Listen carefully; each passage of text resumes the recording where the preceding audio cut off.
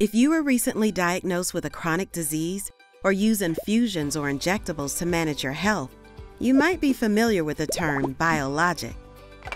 What is a biologic? Biologics are complex medications that pharmaceutical labs grow from living cells. Because of their molecular structure, biologics can't be digested like pills. The acids in your stomach would destroy them. Therefore, this type of medication must be given through infusion or injection so that it can directly enter your body. Because biologics are grown rather than manufactured, there is no true generic version compared to medications that you swallow, like ibuprofen. If you are on a stable treatment plan and your prescribed infusion drug suddenly changes, you might feel frustrated and confused. Huh? And you might be wondering what this means for your health. Although there are no generic versions of biologics, you may have heard of terms like biosimilars, interchangeable biosimilars, and unbranded biologics.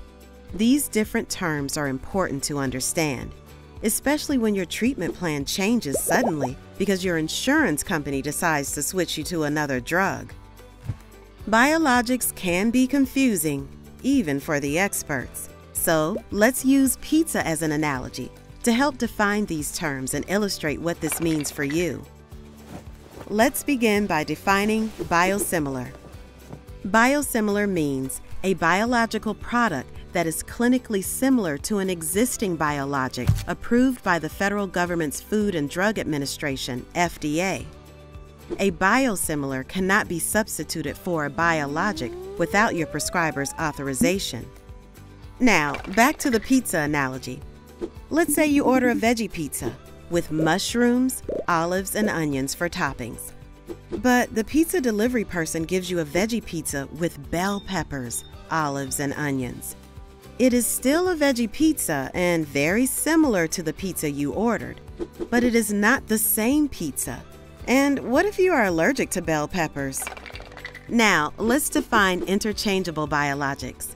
Interchangeable biologics are biosimilars that produce identical clinical results as the original biologic product. Therefore, these biologics may be substituted by your insurance company without your doctor's permission because they are considered clinically interchangeable.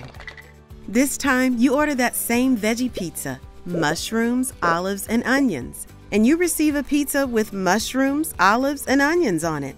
But this pizza is from a different pizza parlor not the one you ordered from. This pizza parlor is new, and you are not sure if you will like their recipe. Now, let's define unbranded biologics. Unbranded biologics are biologics marketed without the brand name. An unbranded biologic is a FDA approved equivalent to the branded biologic.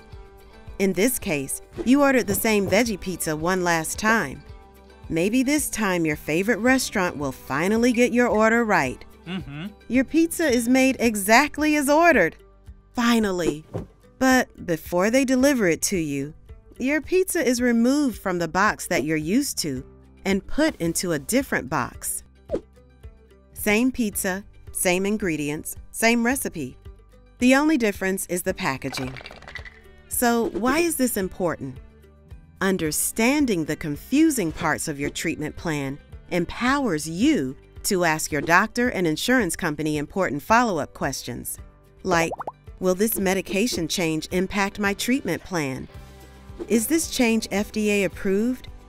If not, what are my rights? This is something you can ask IAF. The Infusion Access Foundation is a community of patients united to protect access to treatments that you get at a clinic, such as infusions and injections. We support each other across all diseases and advocate with one voice that reaches policymakers.